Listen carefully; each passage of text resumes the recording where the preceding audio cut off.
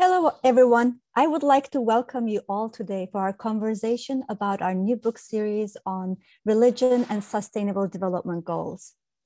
I also would like to thank the Berkley Center for this wonderful opportunity.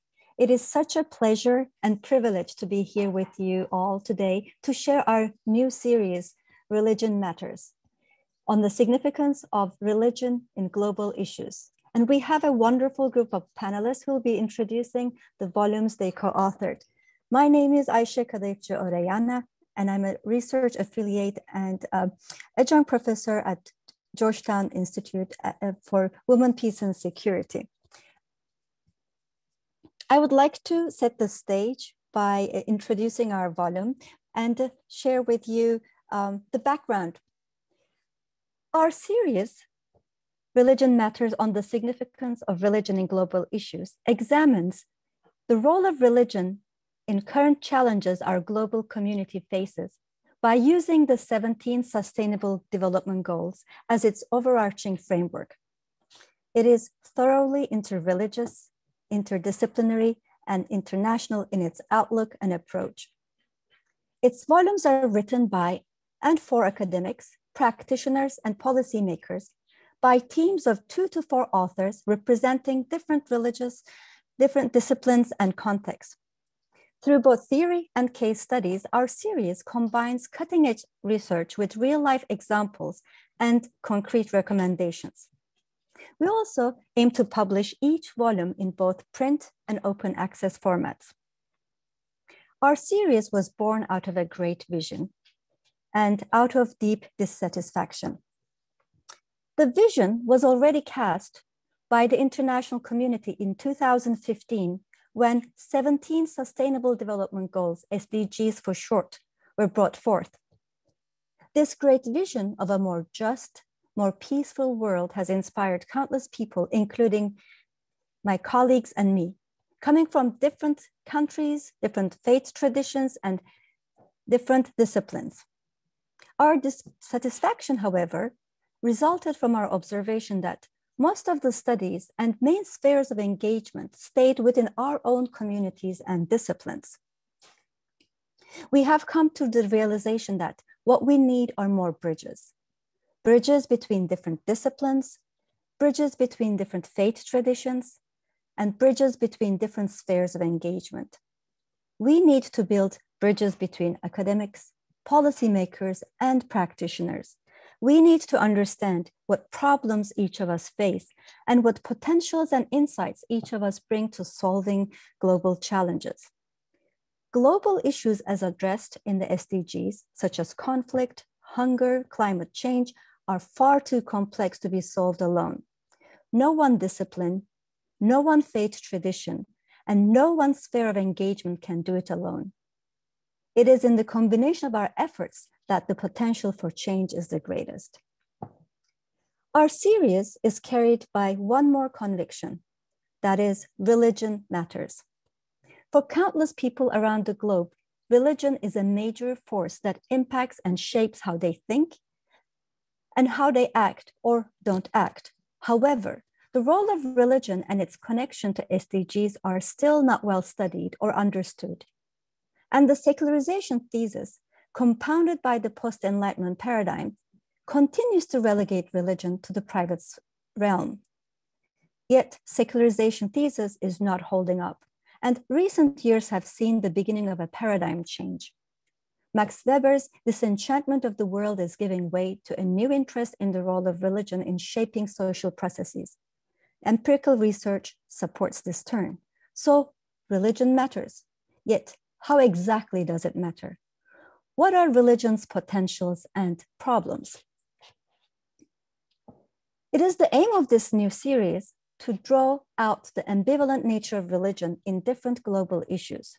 So our series, Religion Matters, provides short and accessible volumes that analyze the role of religion with its problems and potentials in different challenges that we as the world community face today. We are interreligious, interdisciplinary, and we build bridges between different spheres of engagement. So today we'll be talking about the uh, first four, four volumes that came out of this series. Other upcoming volumes include Religion and Human Rights, Religion and Experiences of Disability, Religion in SDGs, which will be an introductory volume. We also have a partnership with Religions for Peace for five volumes, and these will include Religion and Peace, Religion and Education, Religion and Gender, Religion and Environment, and Religion and Freedom of Thought and Conscience. And we're always looking for new topics and authors. So if you have an idea for a volume, please let us know. Now, before I move to introduce our first panelist, uh, I have a few reminders. So this webinar is being recorded and the captioned video will be posted to the event page on the Berkley Center's website soon. If you registered for today's event, you will also receive an email with the captioned video when it becomes available. Also, the last 15 to 20 minutes, we will answer questions from the audience. So please join the conversation by opening the question and answer box at the bottom of the Zoom screen and type your question. Now it is my pleasure and honor to introduce our first panelist, Christine Schliesser.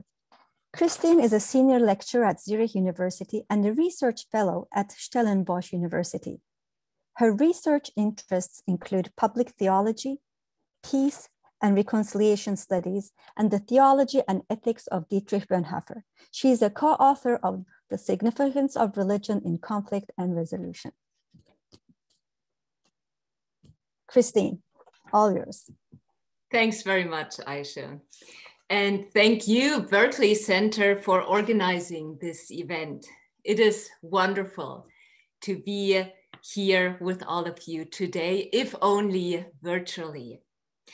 I'm also pleased that our third editor, our dear colleague, Professor Pauline Kollontai from York St. John's University is able to join us and to supplement my own remarks that come from the perspective of Christian theology and ethics by her own Jewish viewpoint, just as Aisha brings in her Muslim perspective.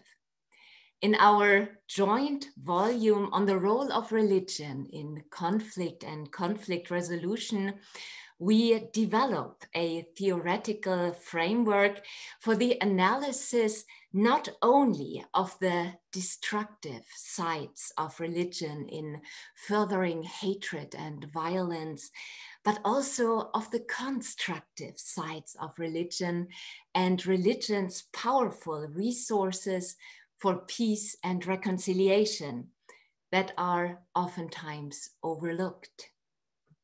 We then test the usefulness of this methodological framework in three case studies from different geographical regions and different faith traditions. While Pauline looks at the role of Judaism in Israel's land rights conflicts, Aisha explores Muslim women's peacemaking in Pakistan. I focus on the role of the Christian tradition in pre and post genocide Rwanda. In the next few minutes, I will briefly introduce our methodological framework and then discuss the findings of my own case study in Rwanda. For questions concerning Israel or Pakistan, I would like to refer you to my two colleagues. In our analysis of the role of religion in different conflict settings, my colleagues and I built on the work of religion sociologist Richard Friedli, mediation expert Owen Frazer, and conflict resolution expert Mark Owen.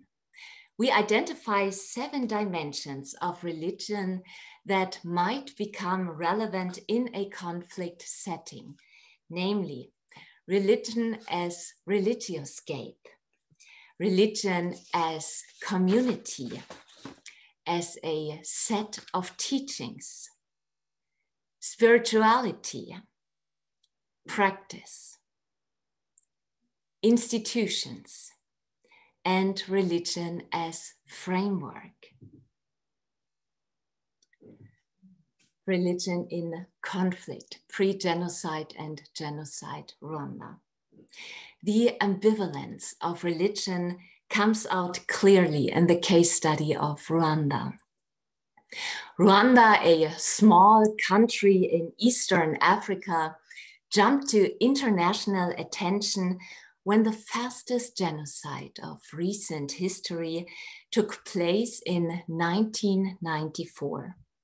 Within mere 100 days, up to 1 million people were killed. Most victims were Tutsi, a minority of about 15%, but countless moderate Hutu were murdered as well. So, what did religion have to do with this? At the times of the genocide, Rwanda was and still is a predominantly Christian country. In my fieldwork and research, I have identified four aspects of religion that played a role in leading up to the genocide. First, religion as community religious versus ethnic identities and relationships. The church, which meant mostly the Catholic Church in pre genocide Rwanda, joined with the colonial powers in their policy of divide and rule. Rather than confronting the underlying rivalry between Hutu and Tutsi, the church supported ethnic divisions. Religion as a set of teachings, problematic theology. In their teachings, the church emphasized obedience or submission to authority and neglected other important Christian concepts such as responsibility, freedom, or the prophetic witness to speak truth to power. Then religion as framework, language, cultural myths, and Weltanschauung. Not only was Christian language instrumentalized for political purposes, the churches failed to address the cultural violence that Rwandan myths and Weltanschauung were saturated with. And fourth, religion as an institution church state relations, the construction of hegemony, and power struggles. The church and state relationships in a pre genocide Rwanda were entangled and lacked critical distance. These four factors helped to contribute an atmosphere in which finally a genocide was possible. At the same time, however, and I do not want to uh, neglect mentioning it, there were countless voices that spoke out for peace and reconciliation and continue to do so. Religion in reconciliation, post genocide Rwanda.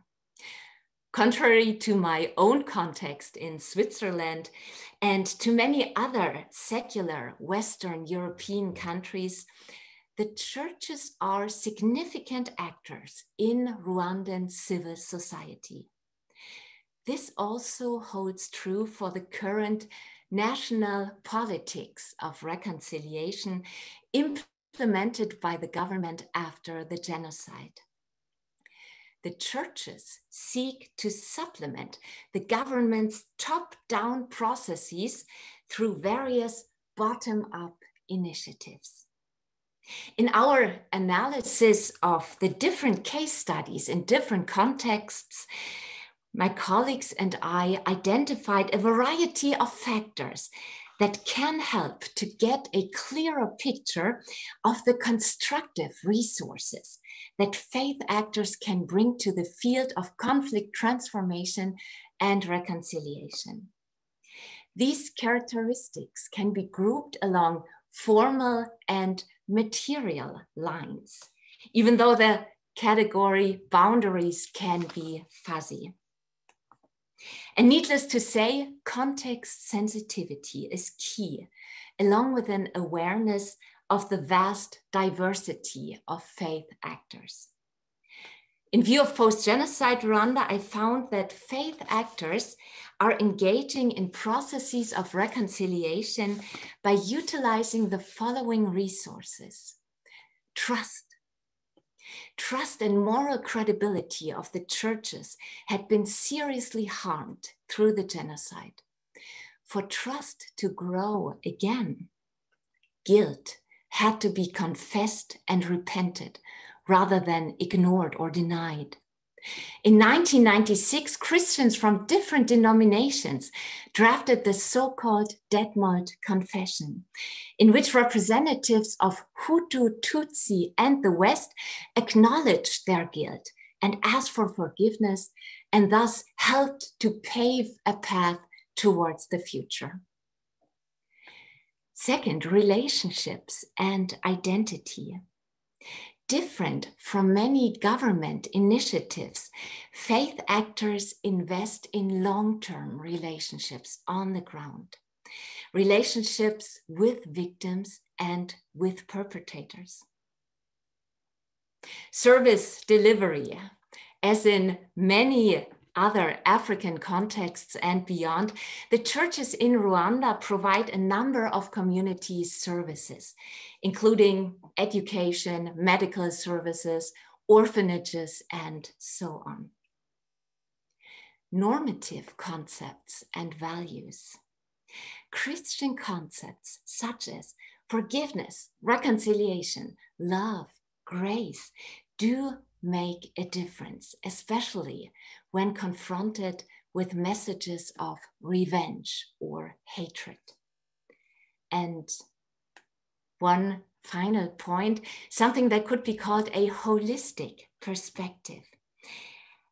I found that oftentimes faith actors combine initiatives for reconciliation with development projects, thereby nurturing both body and soul. One example is the Cows for Peace project, where a pair of perpetrator and survivor receives a cow. By caring together for the cow and sharing the income generated by selling the milk, for example, both angles, reconciliation and development, are being strengthened. I would like to close my remarks by pointing out that next to these strong resources, some faith actors also endorse some problematic features, at least as I saw them from my outsider's perspective, including a too close church relationship, a one sided understanding of reconciliation, and lack of attention to human rights. Thanks very much for your attention. I look forward to our discussion in the end and would like to hand over to my dear colleague, Philip McDonagh, and his excellent volume on religion and diplomacy. Thank you. Thank you, Christine. Please allow me to introduce Philip McDonagh, who is a senior fellow at the Edward M. Kennedy Institute of Maynooth University and a distinguished global fellow at the Center of Theological Inquiry at Princeton University. He previously served as Irish ambassador to India, the Holy See, Finland, Russia, and the OSCE. Thank you, Philip. Well, thank you very much, Aisha, and thank you, Christina. Um, just at at the present moment, I've um, started a new center, um, the Center for Religion, Human Values and International Relations at Dublin City University. And uh, with a number of friends, I'm trying to put into practice the messages of our book because we're working with the churches and other religions on the island of Ireland in developing shared policies or ideas on the economy and on Europe, which I can say more about perhaps in a moment. And I'd also like to emphasize that I was fortunate in working on this volume with three very good friends. It was very much a joint effort among the four of us. Now, as I was contemplating this uh, meeting, I asked myself, what are the points that I would like some of our um, our friends to take away from the meeting? Because our book is quite detailed in many respects, and it brings together many different strands of thinking. Um, so I came up with five points. Um, the first is that the Sustainable Development Goals teach us that we have arrived at a point of inflection in human history. As I'll say more about that in a moment. I think the second point is that, in our view, the history of the next 20 to 30 years will depend to a great extent on our line of approach to international questions, what we call in the book uh, our methodology and orientation. Thirdly, I'd like to emphasize a point that is present in the book, although we don't emphasize it particularly, but it's that a greater relevance uh, for religion in the global public debate is very good for the development of our religious faith if we are people of faith. There are many ways in which this will, will benefit faith. Um, my fourth point, and now I'm getting a little bit more practical, concerns our frameworks of engagement. We can't get from A to B in international relations unless we have the right frameworks. I've spent many years of my uh, life working in different international frameworks uh, the Northern Ireland Peace Process, the UN, uh, the OSCE, and the European Union. And I've come away with this very strong conviction that you need to get the frameworks right. And finally, I will say just a few words about the current situation in Europe. Now, my first point about the point of inflection is something that is so widely accepted, I probably don't need to say much about it. It concerns the significance of the SDGs themselves as a universal project. Um, it concerns climate change. We now have to take account of um, the pandemic. Technology is raising all kinds of new challenges. For example, people talk about changing the nature of what it is to be human through interventions on the genome or artificial intelligence. The question of, of weapons hasn't gone away, both very large weapons and the massive spread of light weapons in populations. Um, and then, of course, there are the cultural, uh, cultural and political challenges that we associate with uh, social media, the internet, divided societies, um, and so on. So we are at a point of inflection. I think we are we're forced to think more in a planetary sense than ever before. Now, my second point is that faced with this situation, we have to look very carefully at our methodology. I think that Avicenna um, said that what is not possible now can become possible if we take the right intermediate steps. I think Dietrich Bonhoeffer said that something new can be born that is not discernible in the alternatives of the present. And in our book, we, we approach this question of methodology in the light of the basic idea that institutions and procedures need to be underpinned by a cultural agenda. We have the concept of axioms of the historical imagination in our book. And this is really a vision of how change happens, which ought to be acceptable, we think, to people of all religious backgrounds, but also people whose worldview or life stance or position of conscience is not defined in religious terms as such. And we have to uh, accommodate those who wish to speak the language of reason without taking a religious position. And just to give a couple of indications of what this cultural change could mean, it would mean, for example, changing our understanding of freedom.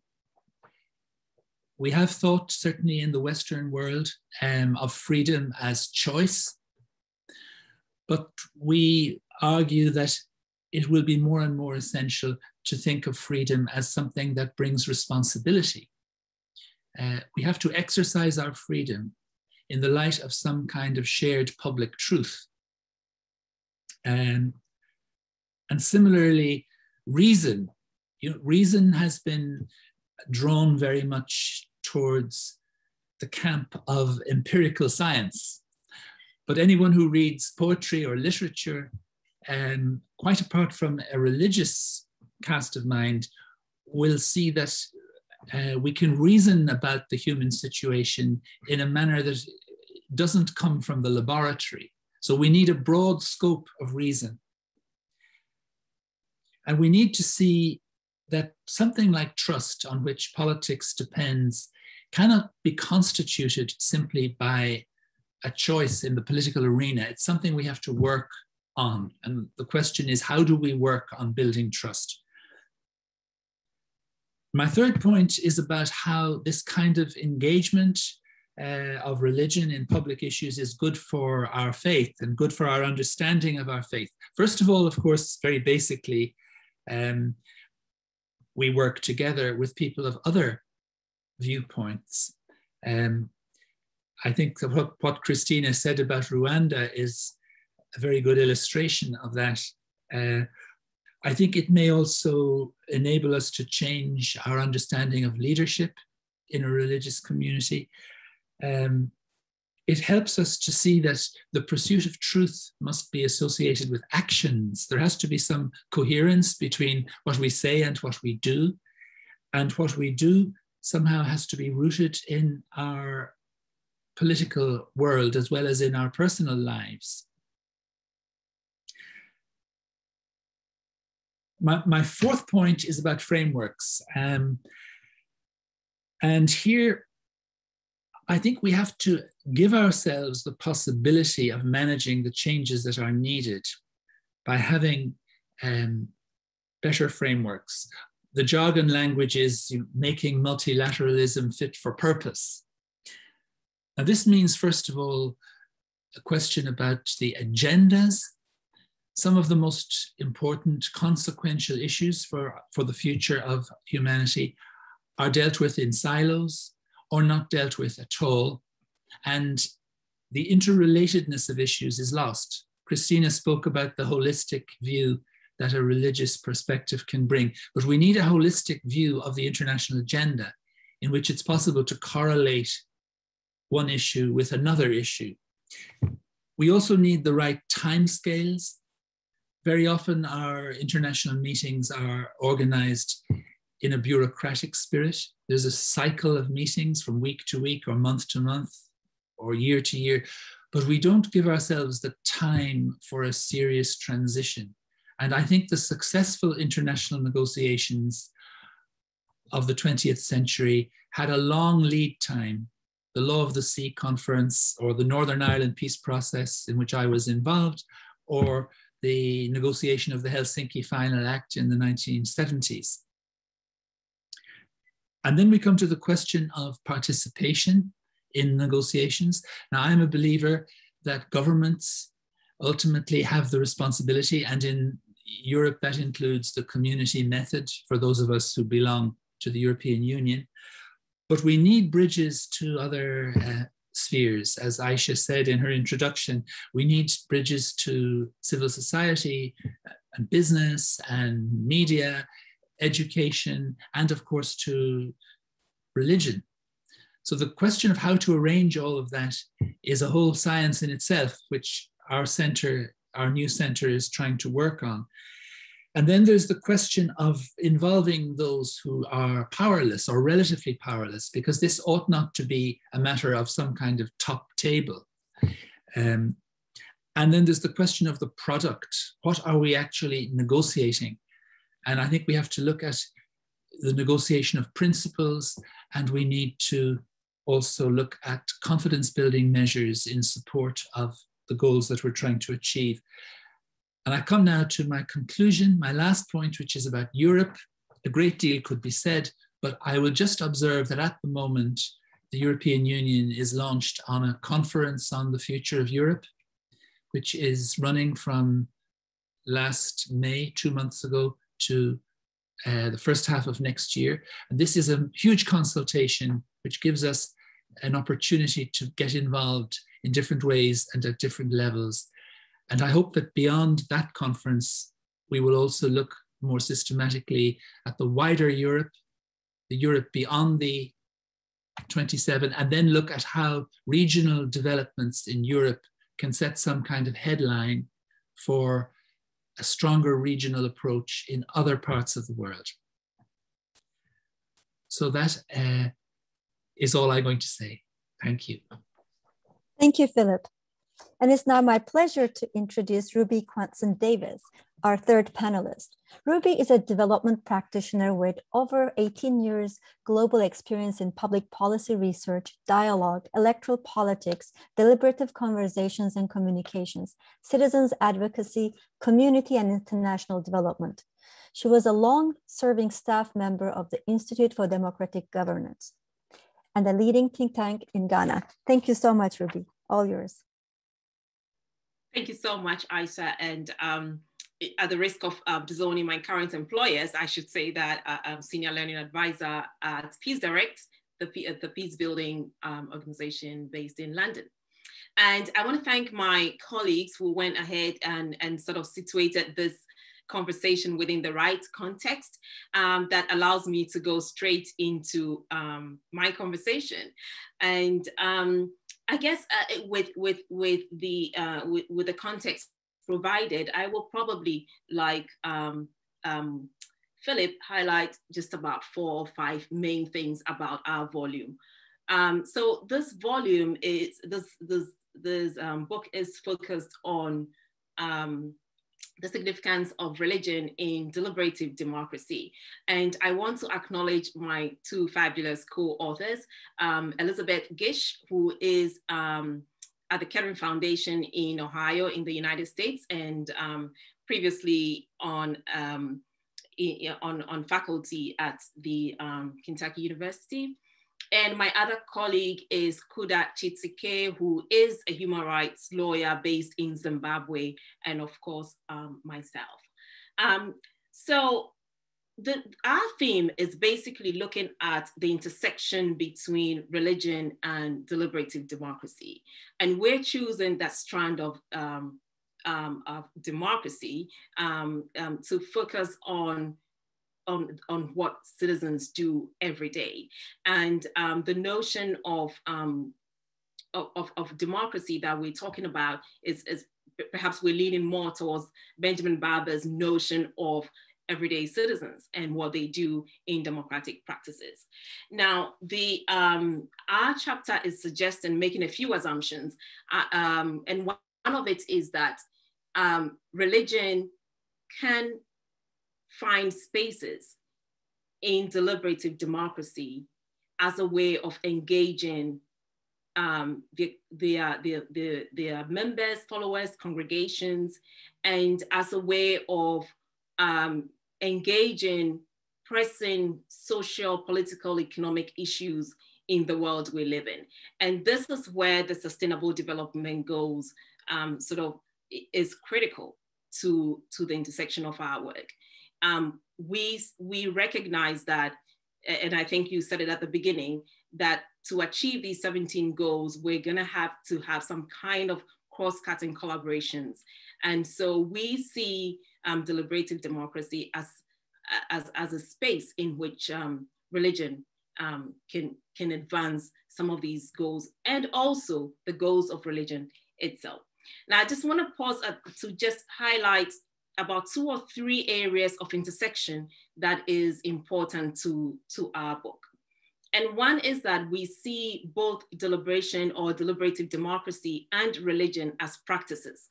And this does not at all exclude the other ways and senses in which we one may see religion, such as belief, faith, and so on. But we see both as as as as um, elements that we need to practice in order to advance what we believe in. And this is one of the intersections that the book um, explores. The, the second um, intersection that's interesting to us is that deliberative democracy has a way of embracing, um, if you will, diversity, pluralism, um, multiple voices. And some may say that religion doesn't always do that. But the point is, religion is perhaps struggling with that. And, and, and, and in many religions, there, there are efforts, even within the same religion, to draw people to conversation. We think deliberative democracy um, kind of offers that space. Similarly, we do think that religion provides a space for democratic practices to be advanced. And I will, I will talk about you know, that a little shortly, but the point, the, the reason that um, we believe so, especially with the cases that we want to showcase in this um, volume, is, is that there are so many regions in the world that uh, they still have people who live everyday lives within the context of their religious beliefs and practices. And so if countries uh, and, and, nations and, and multilateral institutions want to talk about development and they want to talk about addressing the challenges that the world faces, where else to do that than the places where the majority of those populations are found? Now, I should say that this doesn't apply to every part of the world, but for the regions that we're showing in this book, um, you would find that it is important for um, some interaction to occur between um, religion and, and all other efforts that are geared towards development. And um, I, should, I should also mention um, upfront that at this point, we do not position religion as, as um, you know, a, a faultless notion. We do acknowledge the ambivalence of religion. Similarly, we do not project democracy or deliberative democracy for that matter as a panacea in all of, of the problems of the world. Um, but the point is that um, we do see um, deliberation as one of the ways in which religious groups and institutions can engage on critical social, political, economic, sociocultural issues, all of it as embodied in the SDGs. Um, and, and, therefore, there is something to explore over there. We, we find a certain uniqueness in that intersection. Now, of course, there have been so many books and, and, and uh, you know, amazing thoughts shared on um, religion and democracy, faith and democracy, and, uh, and those are not at all dismissed. But often when we talk about religion in democracy, there is the sense of, you know, the, the, the, problem of religion. Is, is it okay to bring your faith into a conversation on democracy? And where democracy is seen as a terrain of the secular. And so um, this, is, this is not exactly the preoccupation of this book the point is that there are spaces um, in religious, among religious institutions and in what deliberative democracy offers um, for reinforcement and advancement of development goals. Um, and, and, so those are sort of like the, the three uh, main intersections for us in this book. Conceptually, we, we think about um, this book um, as as one that promotes collaboration. And this is why SDG 17 is important to us. Um, the recognition that development, the development agenda of the world is not going to be realized unless different institutions, groups, individuals are on board and forms the foundation of the way that this volume is structured. And so we, um, we, we, we hang on the notion of co-production, popularized by um, economist Elinor Ostrom on the fact that institutions need to see citizens as producers and citizens in all forms of shapes and shapes and wherever they find themselves, there is room for co-production, for co-creation. And so our book is anchored on that. And we also kind of underscore the multi-sectoral approach to development in, in, in this book. So in my final minutes, I'm just gonna highlight um, a little bit about the, the, the four chapters we have in this volume. Uh, and, and obviously the first one, we look at that intersection between religion and deliberative democracy as practices. And we see them as practices that literally need to be practiced for people to get into the habit of engaging, of talking, of making decisions, of weighing the options, and so on. In our second chapter, we, we throw a gender lens on this theme. We look at um, the intersection between um, religion and, and, and, deliberative democracy through um, a gender lens. And my co-author, Kuda, does an amazing work of bringing in um, gender violence in Zimbabwe um, into in, as, as a lens through which we see how religious groups um, interact um, when when the when when the issue is is is obviously could be gender disaggregated. The third one, um, um, which I lead on, would be looking at the notion of um, a concept in in Ghanaian parlance, which says Jai Maninka, let it be, which in English kind of sounds as if you know the notion of forgiveness and this is the closest we get to what it means in religion. Now, we want to examine that to say, is this the best way of, of, of, of solving problems? Are there ways in which spaces could be provided within religious groups for people to air and, and work through their challenges and, and, and, be, be active citizens of their communities rather than just being told to let it go and to leave it. And then the fourth chapter, we look at the, um, the church and philanthropy. We look at ways in which decisions are made. So um, all in all, our, our, our volume is sort of the how volume. How, how do people engage religion? And we propose deliberative democracy as the approach. Thank you. Thank you so much, Ruby. Now I turn to Elisabet le Roux, who's our last panelist. Elizabeth is a research director at the Unit for Religion and Development Research at Stellenbosch University. As a faith and development expert, she does research across the globe, focusing particularly on gender and gender based violence, as well as faith communities in conflict affected settings, patriarchy within faith communities, and interfaith peace and conflict. Elisabet, all yours. Thank you for the introduction. Um, and, and the opportunity to speak and tell you a bit about the book that Sandra and I are working on. Um, the one we're busy writing, and we're writing on it as we speak, um, is about the relevance of religion to SDG 5 as we focus on violence against women and girls. I'm co-authoring the book with Sandra Pertek, um, and, and as I'm saying, we're busy writing it, so to speak about it today as though it's a done deal. I feel like I'm I'm I'm taunting the gods a bit.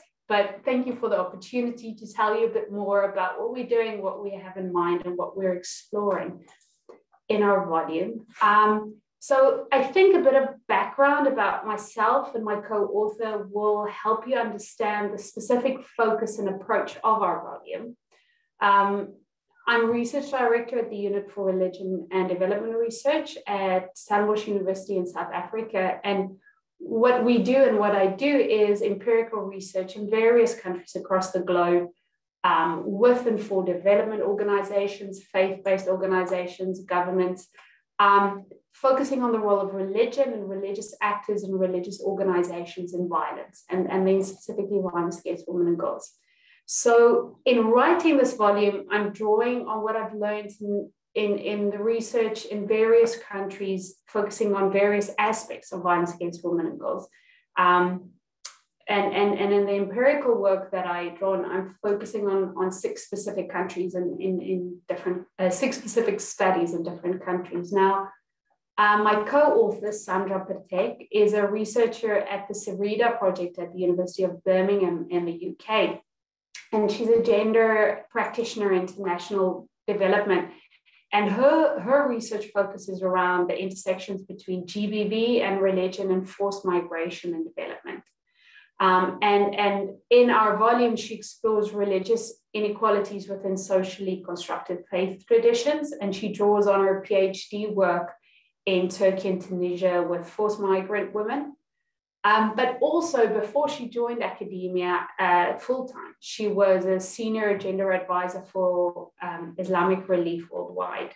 And, and she's also drawing on her experience as a practitioner working in various countries across the world. So, um, with that background, I hope the link in our volume between academia and research and praxis on the other hand um, on the other side often you know that link for us is is very important um, for both of us our research has always always been with and for practitioners, not an academic exercise per se. So, uh, you know, like it, it, it's a much needed exercise, investigation on how to design and implement VAWG, violence against women and girls, uh, prevention programming. So that's the approach that we bring to, to writing this, this volume as well. So that being said, um, let me tell you a bit more about what we're writing on. Um, so aware of the very real impact religious beliefs have on the lives and safety of women and girls, this volume prioritizes experiences and learnings from empirical research um, and of practitioners and their activities at grassroots level to better understand the nature and the root causes of violence against women and girls.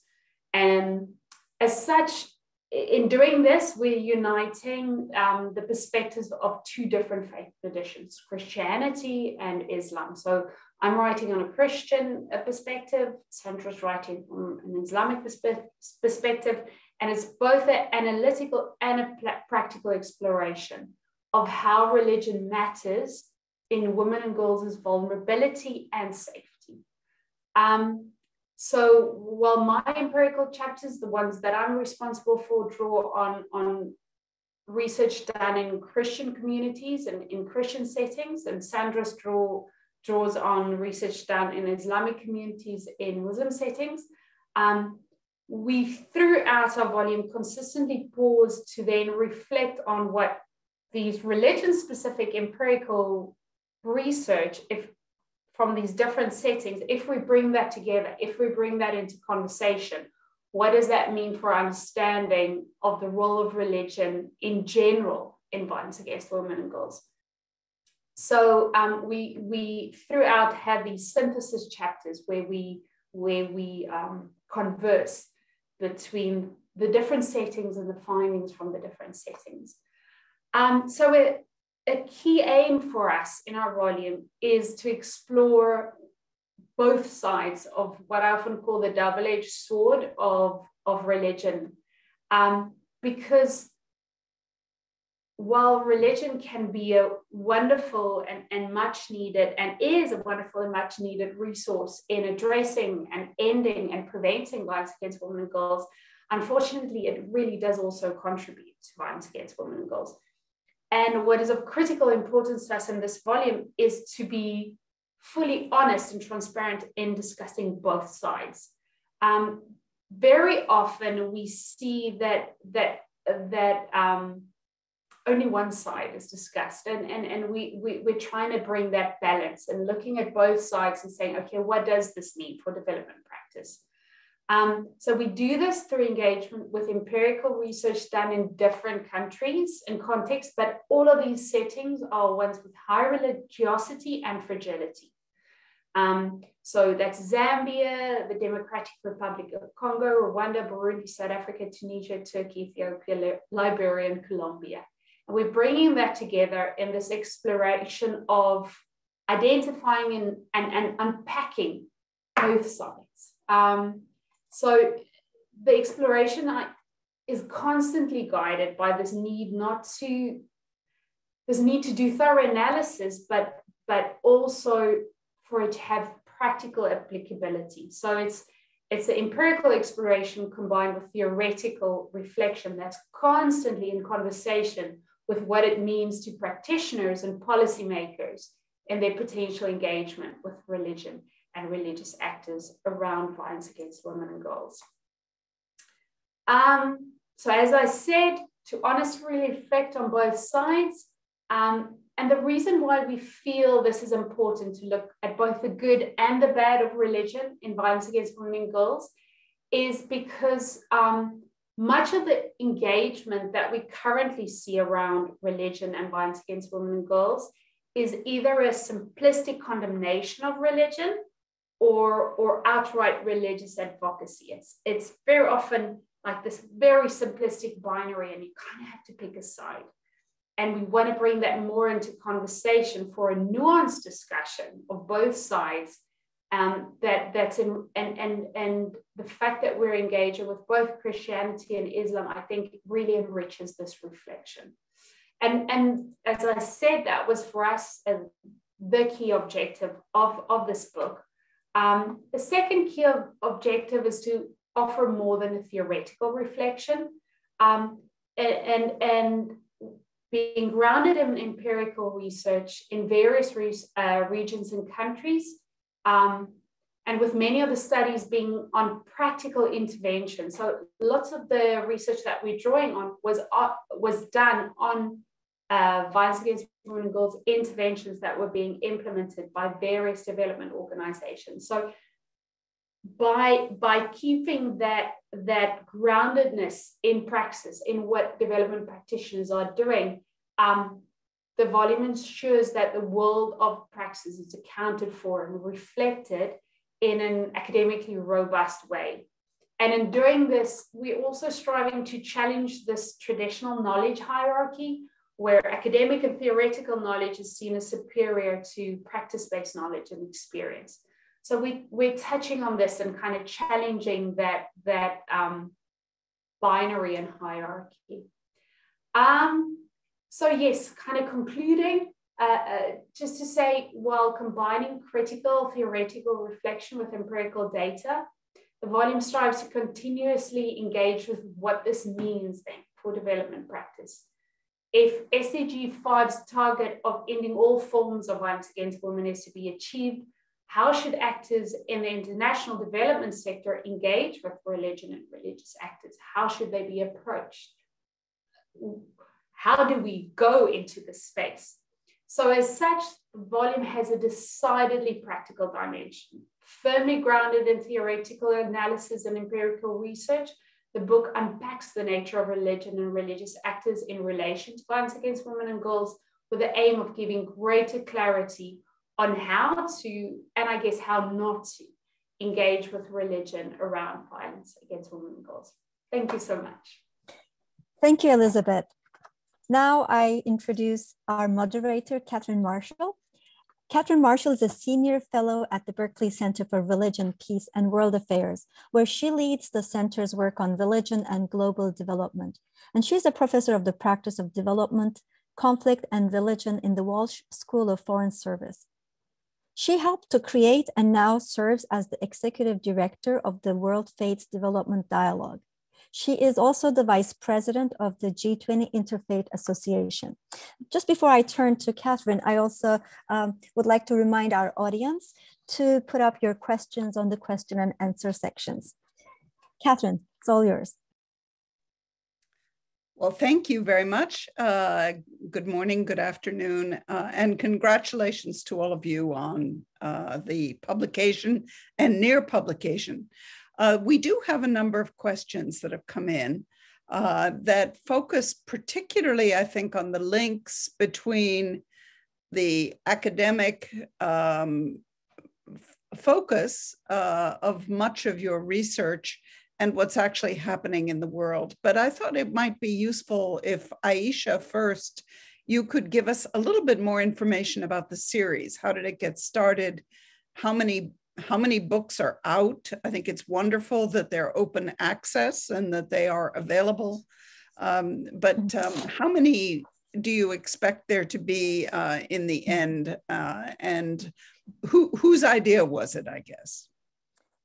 Actually, I am happy to say that was I, I was invited to join this project by my colleagues Christine and Pauline. They were working on this and they reached out to me. So I would also turn to them to also add to that.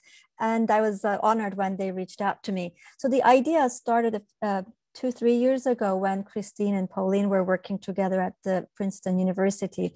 And the um, and we've been talking about issues of SDGs and the role of religion and this lack of relationship between, uh, or more constructive, better understanding between different segments of um, policymakers, practitioners, and academicians, and how could we come down from our ivory center and do something that is um, less academic in nature, but firmly grounded in the academic theoretical discussions, cutting edge issues, and make it more accessible to wider audiences. So I'm just going to turn to Christine and Pauline, if she can join us, uh, to add from their perspective, since they were the ones who invited me initially. So.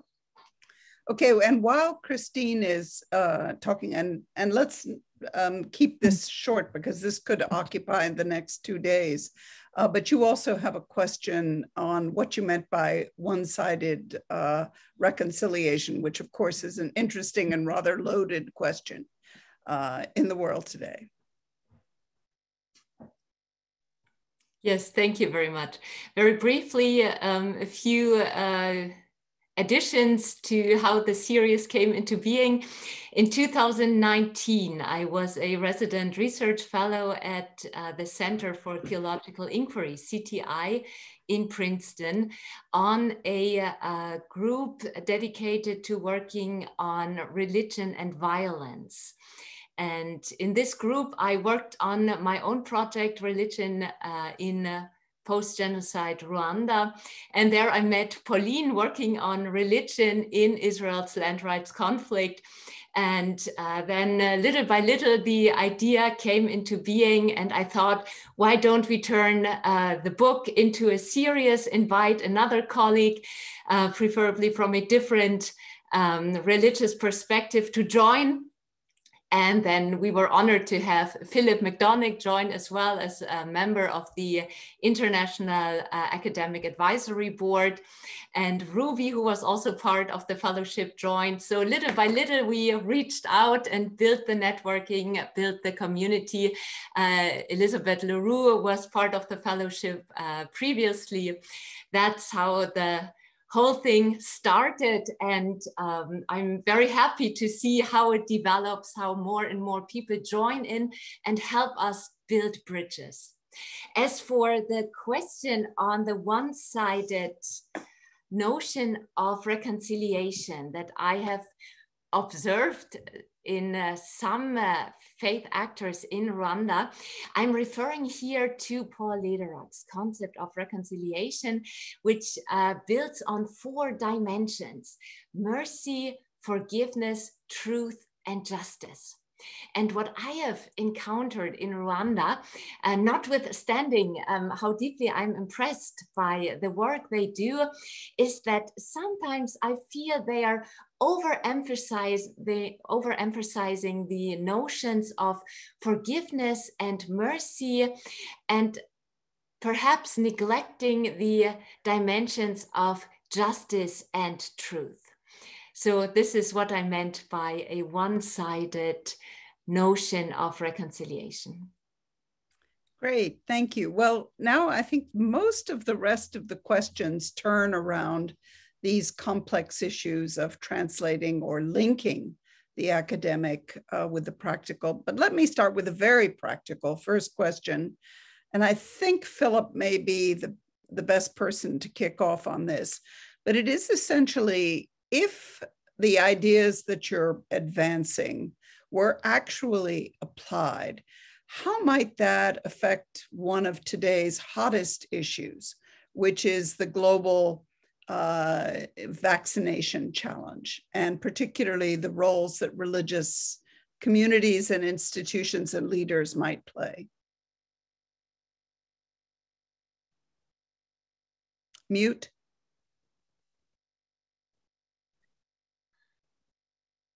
The religions have great social capital. So that's maybe one point to make straight off. You know, on the ground, if we're talking about hospitals or um, social care, religious communities are very important. And I think a number of international organizations and UN bodies are fully aware of that. But I suppose the more interesting question is the philosophical question.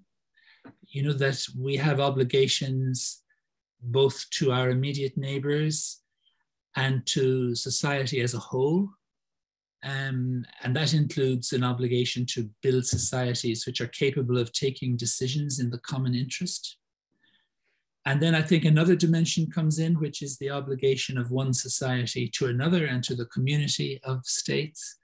Um, and so our book is focused to a great extent on that philosophical question, you know, of how governments, uh, in terms of trying to, to refine the principles of international cooperation, would draw on religious insights. And that, of course, was the case. You know, in the Catholic Church, uh, Robert Schuman, who is one of the big figures in the foundation of the European Union, is now being considered as a candidate for beatification, as, as it's called. Um, but I think if you look at other great international initiatives of the past, you'll often see there has been um, a religious dimension.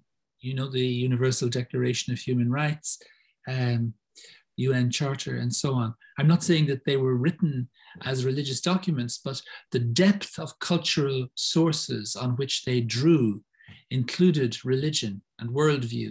And so we're arguing that we have to get back to that in order to be more effective at a global level.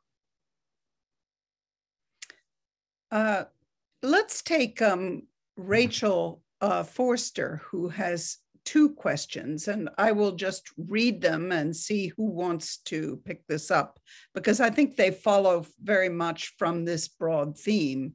So the first one is How do you see the role of traditionally secular institutions, such as the EU, the UN, or nation states, uh, that they can play in the inclusion of religious actors in the realization of the SDGs, especially those relating to gender and peace.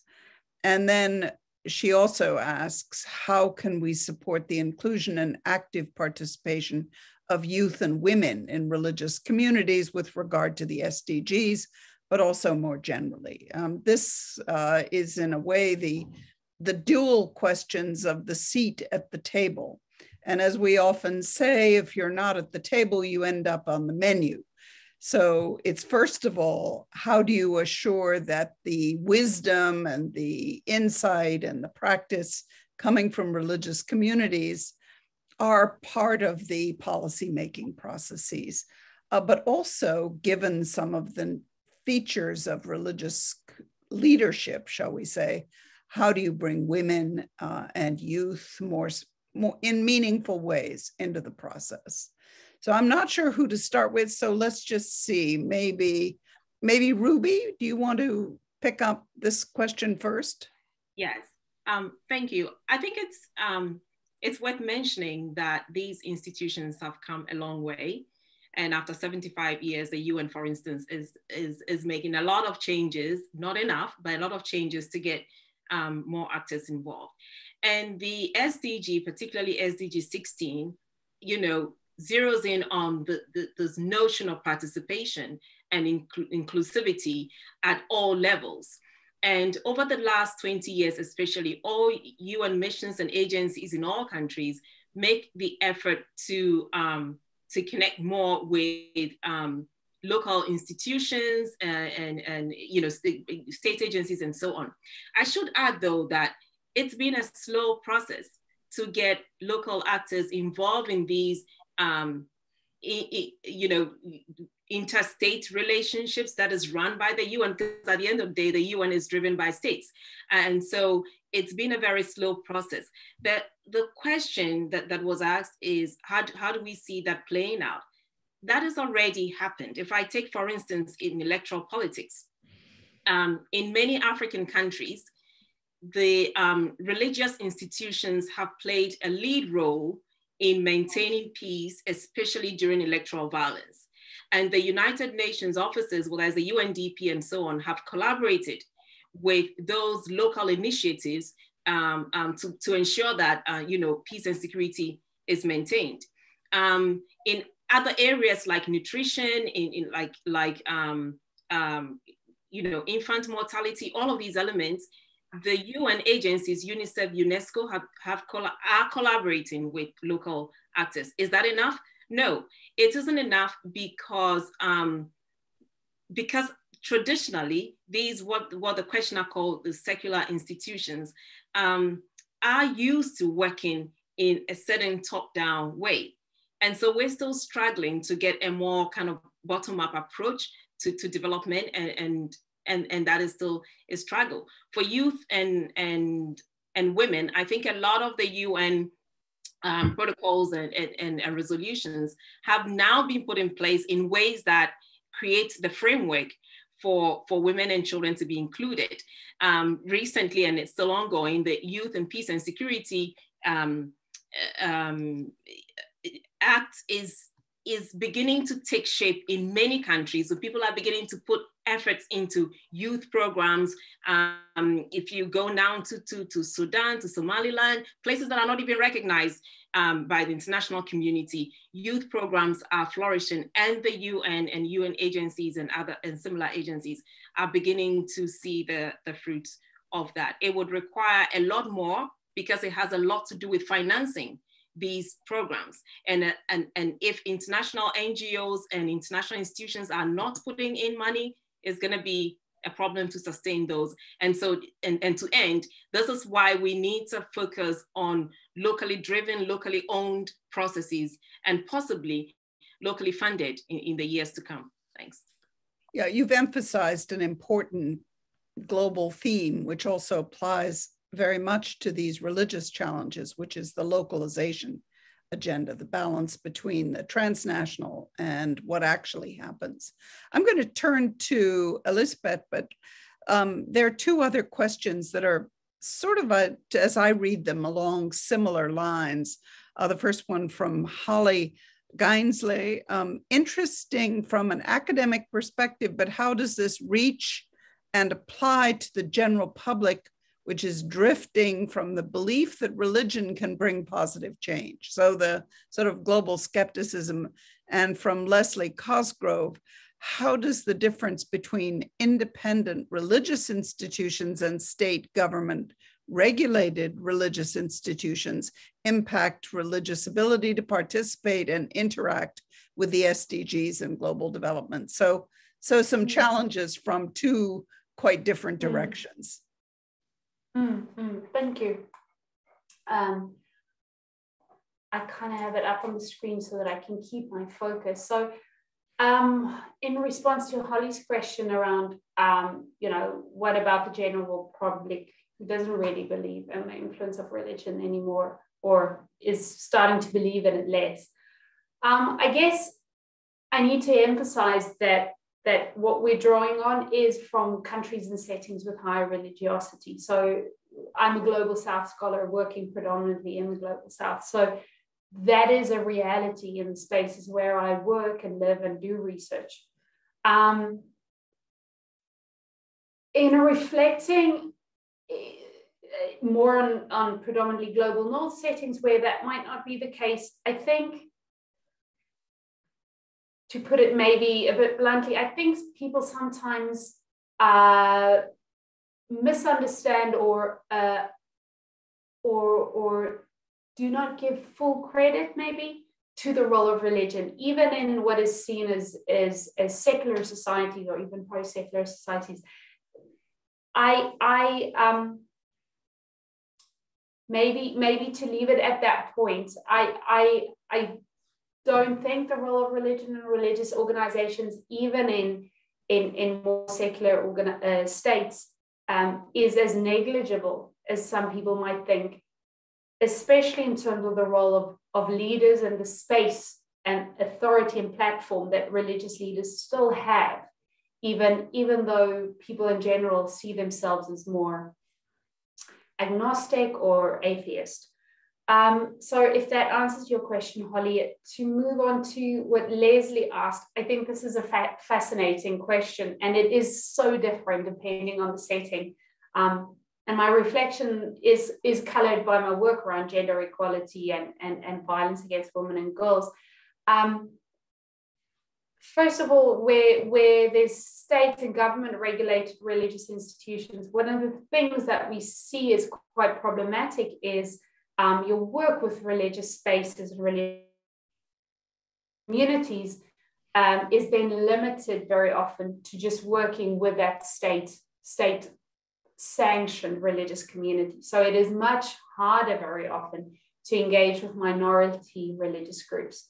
Um, so so so access to independent religious institutions where there is state regulated um, religious institutions is more difficult.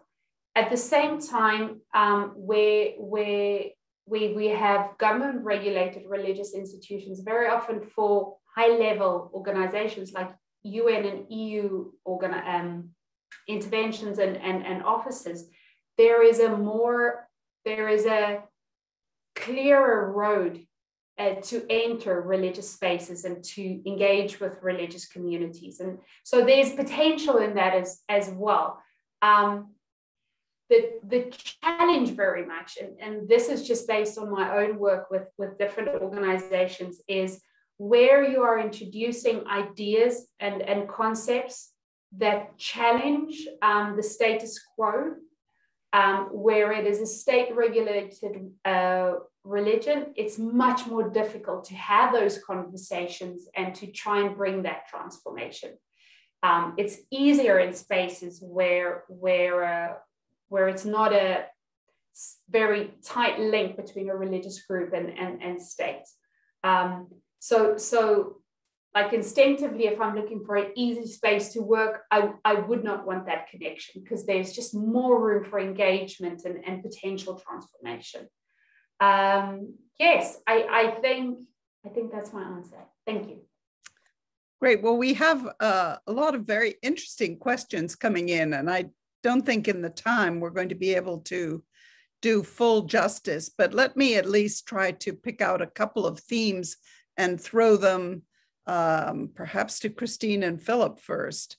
Um, the first one is what do you do uh, in situations of where reconciliation is may, perhaps not high on the agenda of the involved parties to get the process started? So that's one question. Then a second one from Metropolitan uh, Kykotis from Zimbabwe and Angola. He's putting a couple of the hot issues of the moment on, uh, on our agenda that I don't think I heard mentioned. One is the dealing with debt issues and some of obviously debt takes you into the sort of overall economic frameworks, um, but in also also the issue of corruption, where at least in theory, religious actors, one would hope, would be very actively involved. So maybe we can stick with those two. And then after that, I'll, I'll turn to Ayse had her hand up. So, and she also wanted to respond, I think, to another question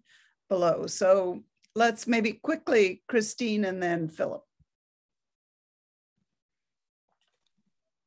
Thank you. Uh, I think I'll start with the first question. How do you get reconciliation started if uh, if it is not on the agenda, if people are not willing, um, that is actually a tricky one. I think if people are not willing um, to engage in reconciliation, reconciliation is a is a concept of relationship. You need two two parties to engage in reconciliation. And that is what makes it different from forgiveness. Forgiveness uh, needs one person. Um, that doesn't work for reconciliation. How can one uh, try to to encourage uh, to get the process started well i think there are multiple historical examples where reconciliation did not happen and where uh, engagement with the past with stereotypes with memory um, all these things that are uh, that are related to uh, reconciliation processes where this does not uh, where this did not take place and where years decades or even centuries later uh, these old uh, enmities were again surfacing um, and overshadowing the present. So I think that would be an entrance point to engage in reconciliation. Also, a, a, field that has been recently attracting a lot of attention is the area of transgenerational trauma. If that is not addressed, if reconciliation does not happen, then this trauma is being passed on to the next or even the next uh, generation after that.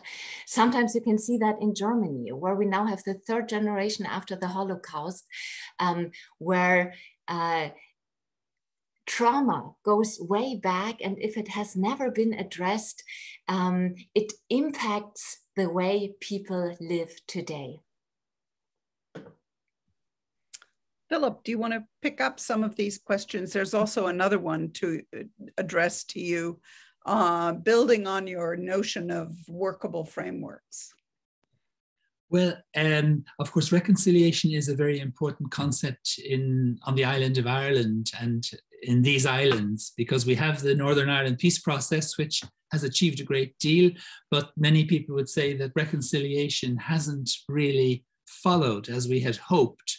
So I think what, what you can do is you can have um, reasonable ground rules, which can be negotiated. Uh, you can work together as much as possible, developing common interests. Um, but in the end, reconciliation is given. And I think that given, I mean, it's a, it's a grace in religious terms. And I think there's a wider lesson there. And this is one of the ways in which religion can illuminate politics that we're not actually in control. Uh, we can take steps and we must take steps. But in the end, some of the results that we're looking for are beyond our control. And even in the case of the pandemic, we see that. On the other question, I, I, think the question about debt and corruption is extremely relevant because I think money is a subject that we often walk past without considering how money shapes our world in all sorts of ways. Um, it shapes our ethics in all sorts of ways. Um, it's very often connected with a highly individualistic um, morality. Um, the history of conflict is very often tied up with financial and economic interests, and so on and so on. And that's very much what I was trying to point towards in, in arguing that we need frameworks where the most consequential issues are addressed. We need much more focus on money, or to use an old fashioned word, usury, in, in as we approach global issues because it's such an important factor. It's a driver of inequality and so on. Um, so maybe that answer also covers the question about frameworks. You know, I think we need frameworks in which we actually have the courage to define the unresolved issues of our time and begin to address them. You know, and we can live with imperfection for a very long time. That's mercy and forgiveness, uh, that means we, we do forgive one another for living in compromised circumstances, but we don't ignore the issue. Good. Well, that's um, a wonderful start. And we have other questions that are coming in that are essentially broadening the scope to the whole question of how both the humanitarian and the development and the conflict resolution all are working to bring more in more meaningful ways the complexity of religious ideas and actors in. So now let's turn to Ayse. I guess part of what you'll do is to uh, address the specific questions about the series. And I think maybe that's an opportunity to, to set the series in that broader context. Yes, also I'd like to respond to some of the questions about women and religion in particular within the context of Muslim communities. My piece in the uh, first volume, uh, the role of religion in conflict and uh, conflict resolution focused on looking at the role of Muslim women peace builders. It is true that in many occasions, religion is associated with backwardness, and especially in the context where Muslim societies are involved, um, Muslim women are always perceived to be in need of saving. But in reality, I, my experience is that it's on the contrary. There's so many Muslim women and uh, women of faith are actually doing a lot of this work.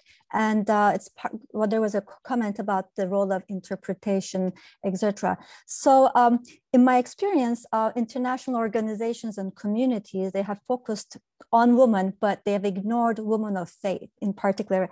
And uh, Berkley Center with Katherine Marshall and uh, Susie Hayward, uh, they wrote a book about this and uh, on the role of women, religion, and faith. And uh, what we have experienced is that while there's a lot of work on religion and peace building that involves religious leaders, which tends to be males, and the woman issues and peace, which includes mostly secular women, the woman of faith has been one of the groups that has been excluded the most.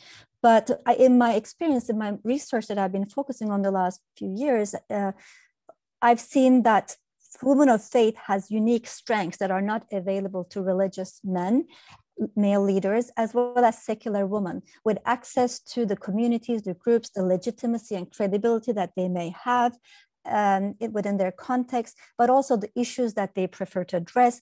They may not always have the power in the traditional sense, but in the book, Katherine Marshall's book, we talk about the issue of strategic invisibility. This does not mean that they're powerless. There's so many ways.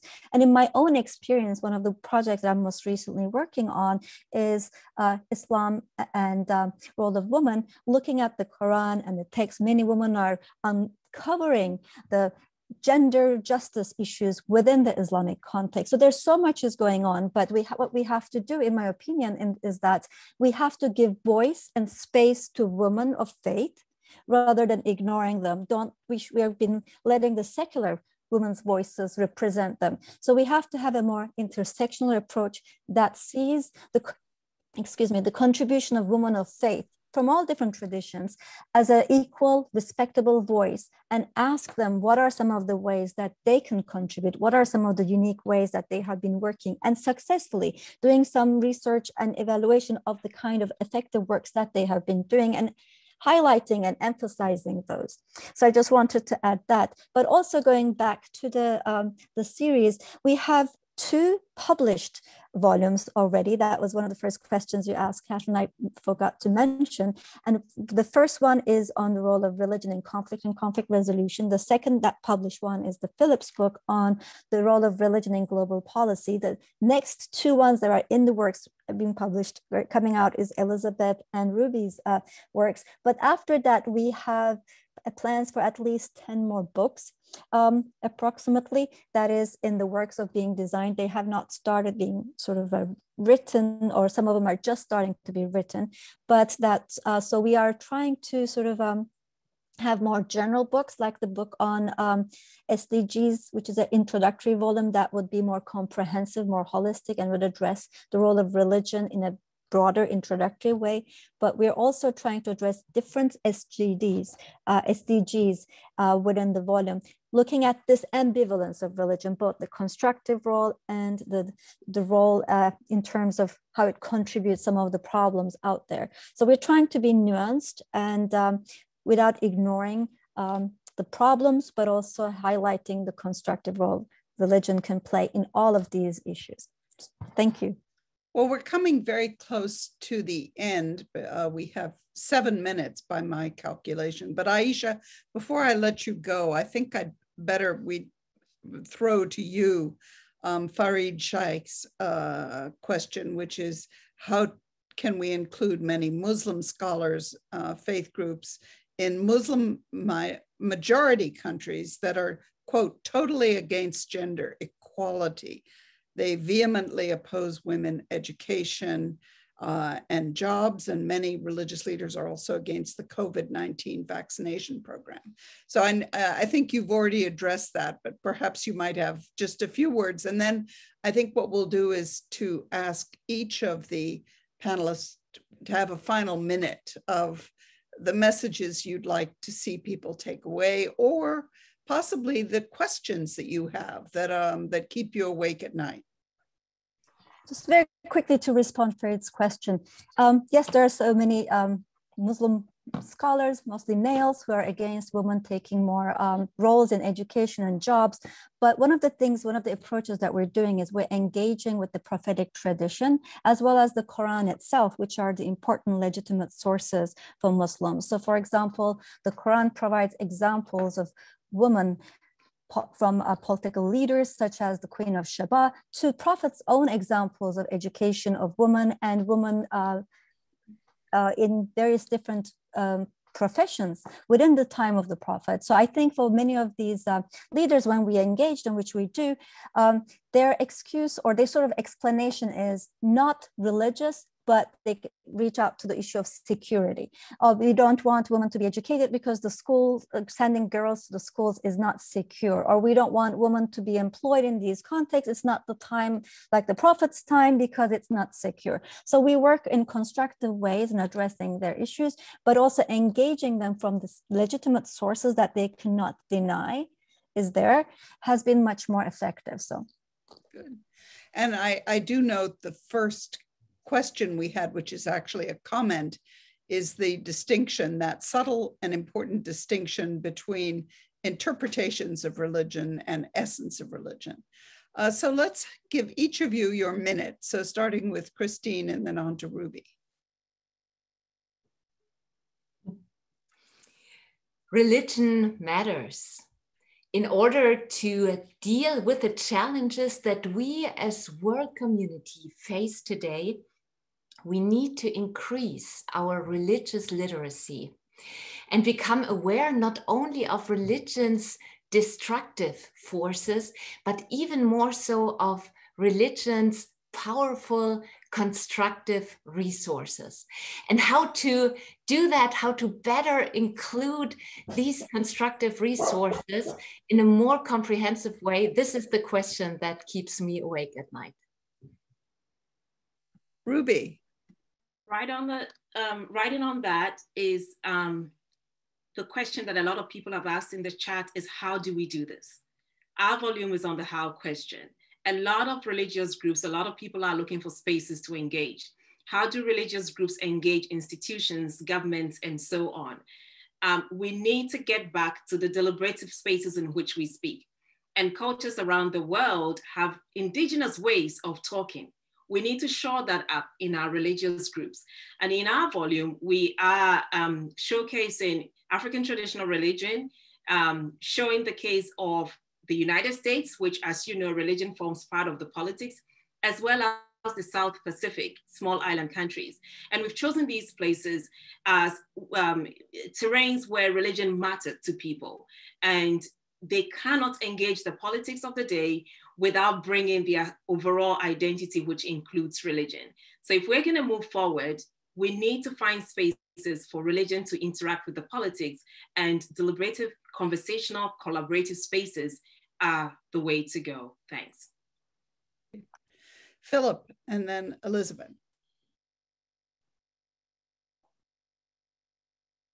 Mute.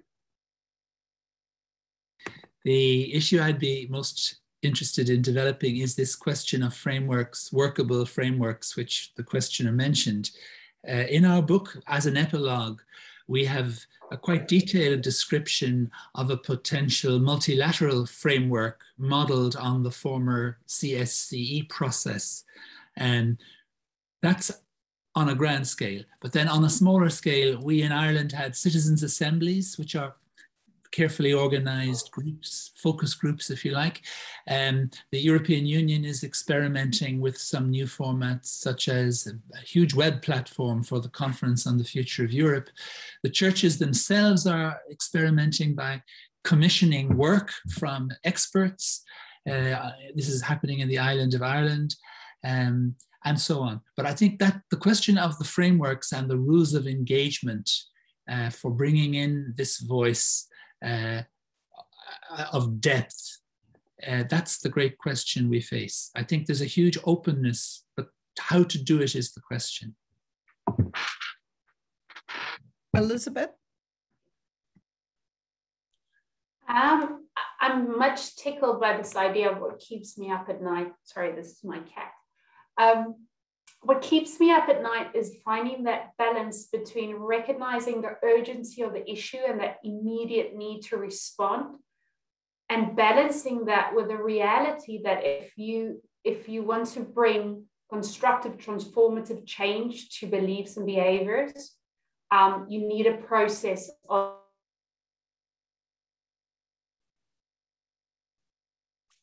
I think we get pushed and pulled between those two viewpoints with, with big international multilaterals demanding hard and fast rules and, and no compromise and immediate action versus small local organizations saying, if you want to work in this space, it needs to go slow and, and we need to start where people are. Um, and that's what I find very challenging and, and that keeps me up at night, um, how, to, how to negotiate that. Ayse, do you have a, a final word? And I do need to thank you particularly for your persistence in bringing a complex set of topics and people together. Thank I just want to say thank you so much for this wonderful opportunity and to our panelists and to you, Katherine, and all the um, staff that helped us put this together and to our audience. Thank you for these wonderful questions and um, love to continue our chat afterwards. If you have any, my email should be on the website, I think. And um, so thank you. Great.